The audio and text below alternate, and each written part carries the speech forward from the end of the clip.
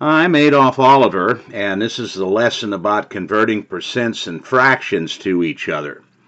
There's a very useful relationship that we want to make use of here. I've got it written down already. You can always take the percent sign and trade it in for over 100. So this guy right here, we're going to get a lot of use of.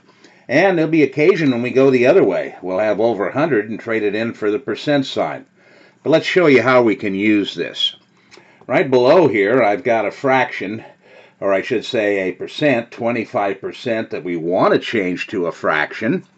And uh, notice I can use this relationship, take the percent and trade it in for over 100. So simply do this to write the 25, but instead of the percent sign, trade it in for over 100.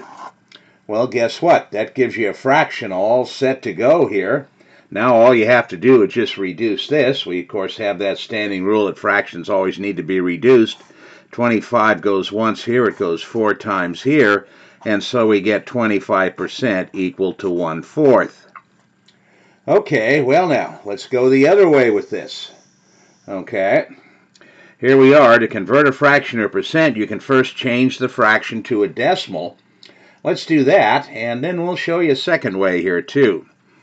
Well, first thing we do is take 1 fourth, turn it into a decimal value. This is 1 divided by 4, which is 0.25. Now, you may recall, of course, to convert a decimal to a percent, you have to move the decimal point two places. The decimal value has to be the smaller looking, so to make it look larger, we'd have to move the decimal point two places to the right. That means we could end up with 25 decimal point percent over here. Remember, whenever you convert a decimal to a percent, the larger looking number has to be the number in front of the percent sign. The smaller looking number is the decimal value. And we moved it two places, so the 0.25 equals 25%. Now, here's an alternative way of getting this same value.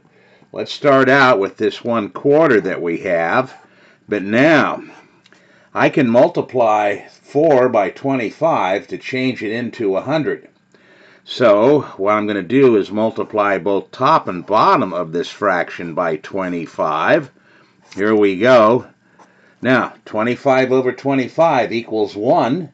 Whenever you multiply something by 1, you do not change its value, so the fraction we get from doing this is still going to equal 1 fourth. Let's multiply it out. 1 times 25 is 25. 4 times 25 is 100. Well, of course, you know 25 one hundredths is the same as 1 fourth. It can be reduced back to it. Now, why did I want to get this 100 down here? Well, remember this relationship we mentioned to begin with up here? The percent sign can be traded in for over 100. Well, we're going to go the other way. We're going to take the over 100 and trade it in for the percent sign and we'll get the same value here. What happens now?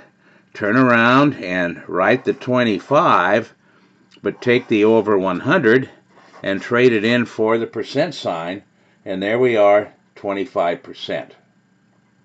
Well, let's start looking at some examples now of converting percents and uh, fractions back and forth to each other. Here's the uh, first one we want to look at. Convert to a fraction 10%. Well, here's the easiest thing to do for this. Remember, we can take the percent sign and trade it in for over 100, so here that is, and then just write the 10 on top of that. Here we are. I just rewrote the 10, okay, and then what I did was take the percent sign and trade it in for over 100. Now, of course, this can be reduced. Don't forget, you always have to do that.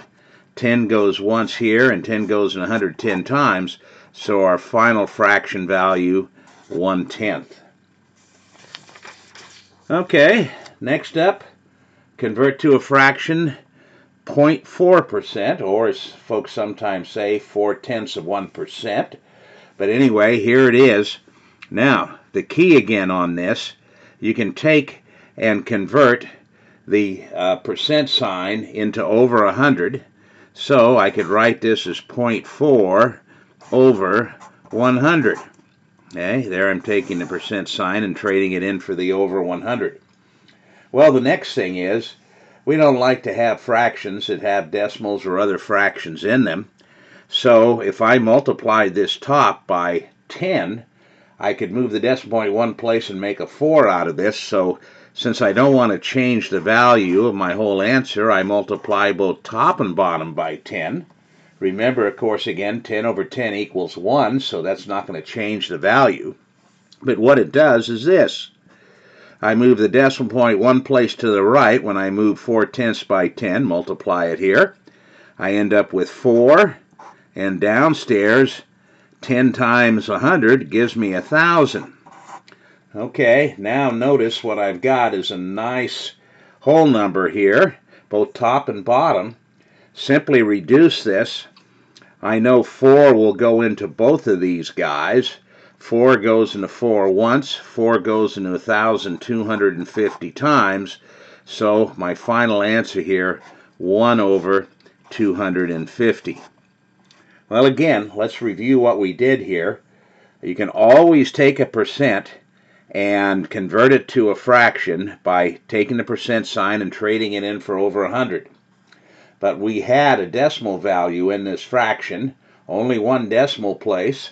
So if we multiply both top and bottom by 10, which is equal to 1, it won't change the value, but it'll change what it looks like. We ended up with moving the decimal point one place to the right, 4 upstairs, and 10 times 100, 1,000 downstairs. And then, of course, just reduce top and bottom by 4 to get our final answer of 1 over 250. Okay, let's take a look at uh, the next problem here. We want to convert this to a fraction as well. 262%. Again, I'm going to take the 262 but convert the percent sign in for over 100. Okay, well now at this stage, we've got the fraction, but of course we got to see if we can reduce it. 2 will go into both top and bottom here. It goes 131 times upstairs and 50 downstairs.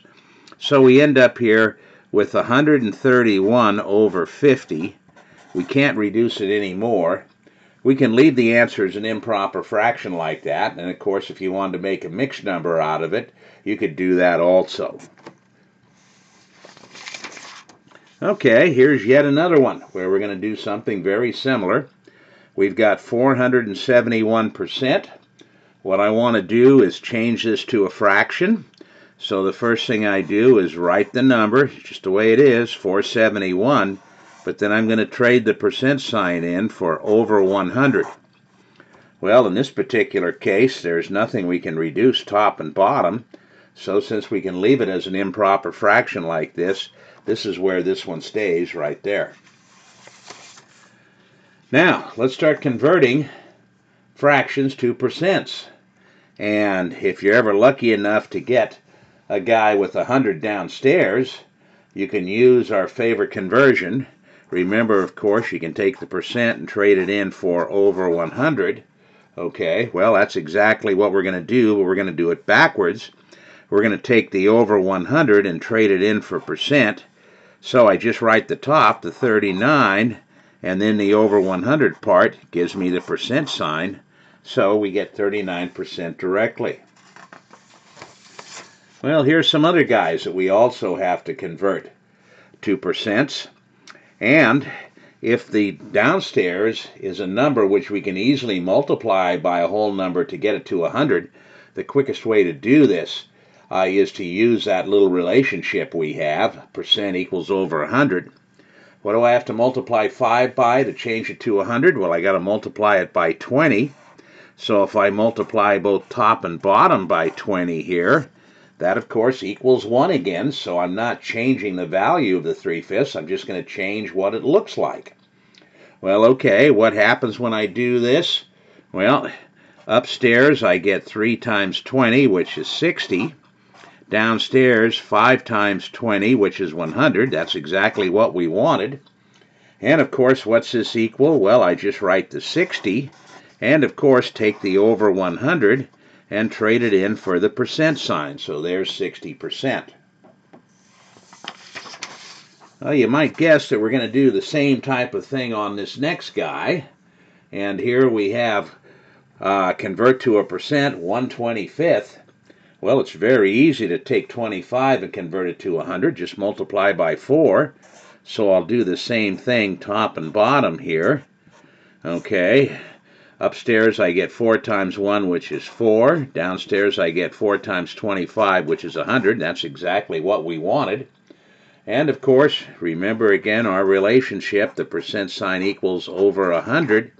So what I'm going to do is rewrite the 4, but take the over 100 and trade it in for the percent sign, and there we are, 4%. Well, you're not always going to get nice values that you can uh, easily change to 100. 45 is a good example of this.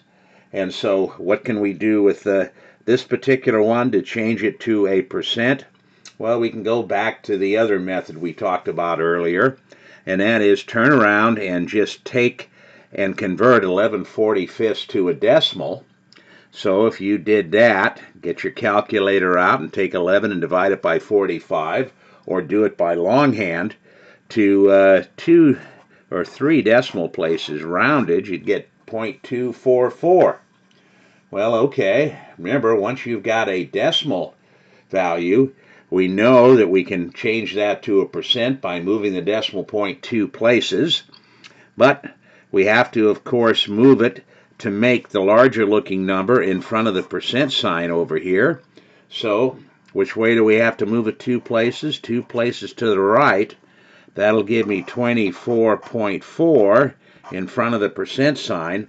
And this, of course, is the larger looking value in front of the percent sign, the smaller looking decimal, so we know we went the right direction. Okay, well, here's the last example. Convert to a percent, seven and a half. Now, of course, most of you probably remember that one half equals 50%, but let's show you the way you can handle this one. Here's what we're going to do with this. Uh, we can turn around now and say, okay, I want to make this into a decimal value, and I can write this as 7.5. That's the same as 7 and 1 half. Now, if I'm going to convert this decimal to a percent, I need to be able to move the decimal point two places, so I'll add another zero here to be able to do that. And of course, we recall that we always want to have the larger looking number in front of the percent sign over here. So that means I have to move the decimal point two places to the right. So I end up with 750. You can put the decimal point there or leave it off, your choice. But the 750 definitely larger looking than the 7.50 and we did move the decimal point two places so we know we're correct in that.